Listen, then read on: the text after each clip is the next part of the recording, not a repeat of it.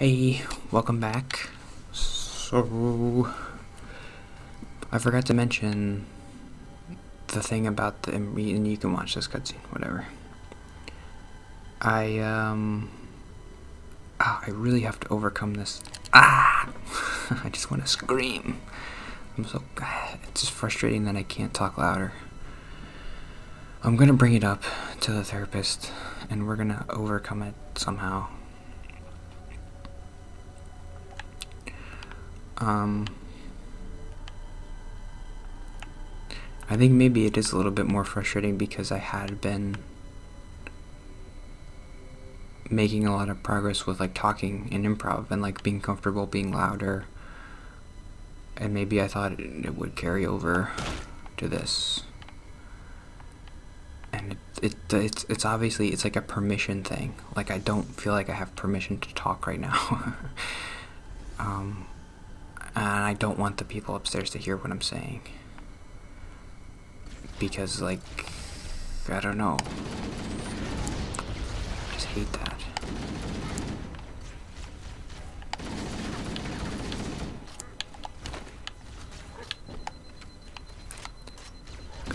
Um, I don't know, maybe I'll try to record in my bedroom. But it, I can't, never mind. I don't know. I wanted to mention that like I was feeling sick um yesterday. In the morning I had like a headache. And I was actually kind of sad because I thought like oh if I get sick then I can't go to improv tonight. And that's really important to note because every single time in my life that I've ever gotten sick it's always been like a blessing to me. Like, oh, that you're sick, so you have permission to stay home now. You don't have to do whatever you were gonna do that involved other people. um,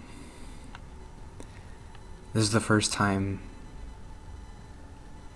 maybe ever. I mean, I can't think of a time where being sick was a bad thing for me. Other than, like, obviously just like, oh, I don't want to feel sick. But there was always that benefit of, like, well, then at least you don't have to go anywhere. And you could just stay home and eat soup.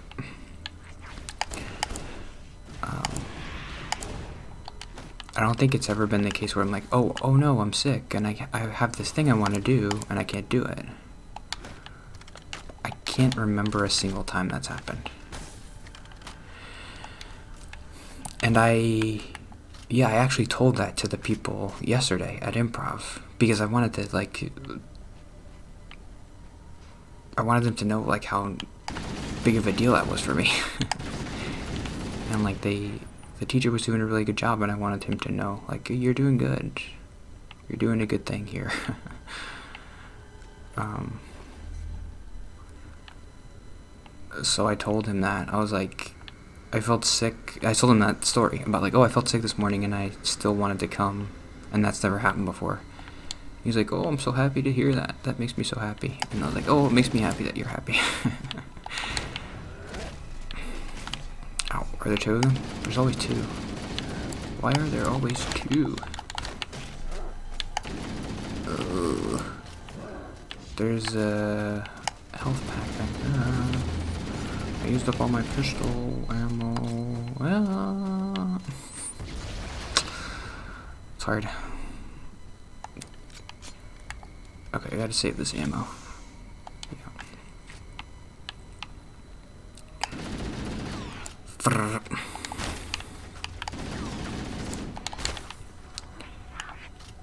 Okay. Okay, okay, okay. So that's it for improv. Uh, it was three days about improv. Let's talk about therapy. I actually took a week off therapy because, well, the therapist was on vacation. Um, so that's why I didn't talk about it last week. Huh. It's cool. It's cool color. World building.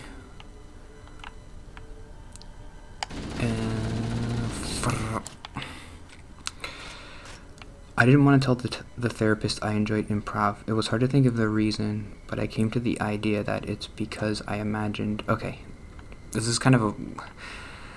For some reason, reason it was weirdly hard for me to explain why I didn't want to tell the therapist that I enjoyed improv.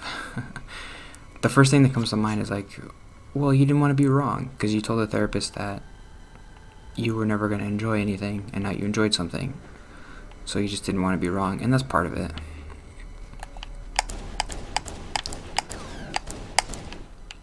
Am I hurting him? Oh god.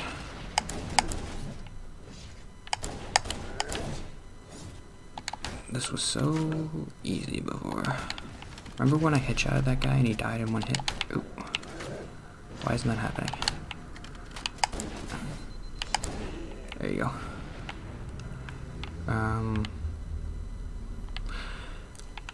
the the thing that came to mind where I'm like, okay, this is probably a big part of it too. In addition to just like not wanting to be wrong. I rem- I had these like flashbacks to high school and college where I was sitting in class and people were talking about like all the fun things they did. Like, oh, I went to a party and I went to um, our we we our me and the friends groups went to McDonald's or something, and like, oh, we had so much fun over the weekend. Wasn't that party crazy? And like that guy threw up. And I kind of remember hating those people. Definitely, part of that was probably jealousy that I wasn't part of it, or that I couldn't be part of it. Um, and another part of that was maybe like me kind of projecting inauthenticity on them and saying like, oh, they're just like bragging and and they the the pompousness, the the pomposity of like just trying to impress people about like, oh, I'm so cool and I like doing things. I like going out and doing things. And I'm like, no, you don't. You don't like doing things. You're just trying to impress people. But now, I and I thought that because I figured like, well, nobody because I don't like doing thing anything. I guess maybe nobody else could possibly like doing anything. um, but now that I like doing things, I still don't want to talk about liking it because I don't want to be that person that I hated. Um, and I have to get over that, I guess. I don't know. This is got to be the right way. Ooh, I'm invisible. I'm gonna sneaky sneak sneak. But they kind of walk like monkeys. That's interesting. Oh, what happened? Ah. Who's doing that?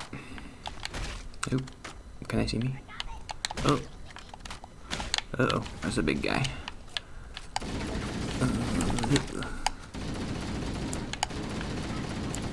I think when you shoot, they can see you.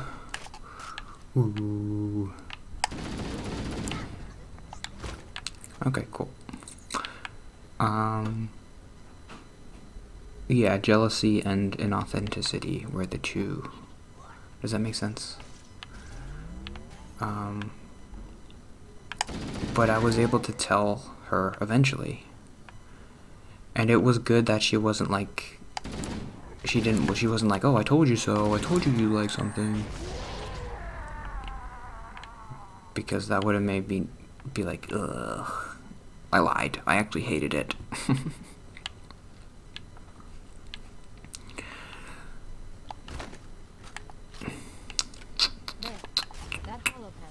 cool. Um, get out of here, Los Angeles. Ooh, look at this. Los Angeles is calling me. Ooh. Why? Do you want to talk about Will Smith? I don't really want to talk about Will Smith. I had one note about Will Smith that we can talk about. Uh,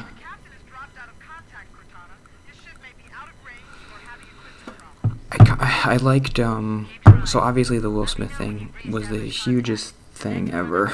He, he, he slapped Chris Rock in the face, and I mean, it is a big deal. it is crazy that that happened.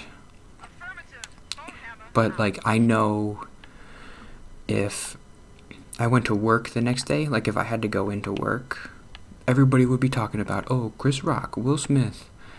And I just felt really grateful that I didn't have to like pretend that I cared about that. I mean, I did.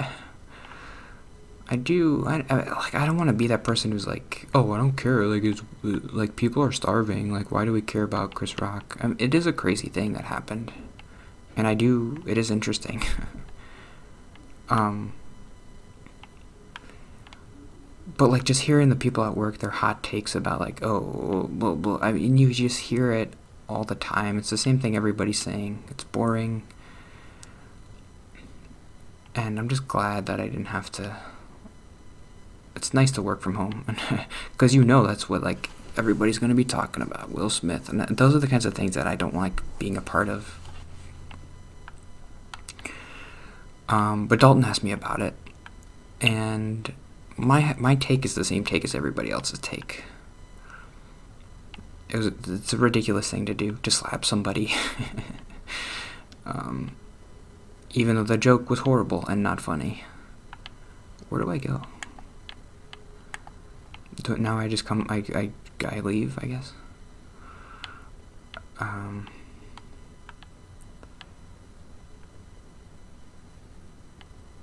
Yeah, I think if Will Smith was like thinking fast on his feet, what he would have done, what he should have done, is he should have taken the mic and just been like, "Well, that was a bad joke. Like, you can sit down, and I'll and I'll do the rest of the show." um, and just like read the teleprompter because I'm sure he could have done that. How he's he's an actor, like he knows how to do that stuff. So he could have just been like, "All right, you're done with the jokes. This is a really bad joke. I don't know. That maybe that would have been stupid too. Um, that was my note. Yeah, I don't. I didn't really explain that good enough, but I just, I just was glad that I didn't have to be part of like the water cooler talk about that. I, I'm, yeah. I mean, it comes to mind again, like being in college and sitting like before class starts and people are talking about like I can remember well, this is kind of a bad example, but I can remember people talking about the Game of Thrones episode where spoiler, King Joffrey dies and I was in school and he's like, "Oh, can you believe? Did you see that episode yesterday?" I was like, "He was like purple, his face was purple." and um, maybe it is just again the same thing of just jealousy of not being a part of that conversation. Because I, Game of Thrones, I probably would have liked to talk about it. Um, the Will Smith thing less so, just because it's like, okay, a guy slapped another guy. I mean, I know it's crazy, but still, it's like, what else is there to say about it? Will Smith is crazy and he slap somebody, uh, like it's a crazy thing, but like there's nothing else to say about it. I just said everything that you could say.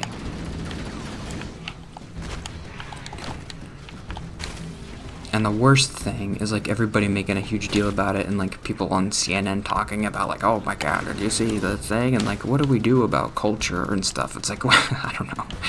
What are we talking about? Um, but anyway, okay, I gotta end. Uh, see you tomorrow.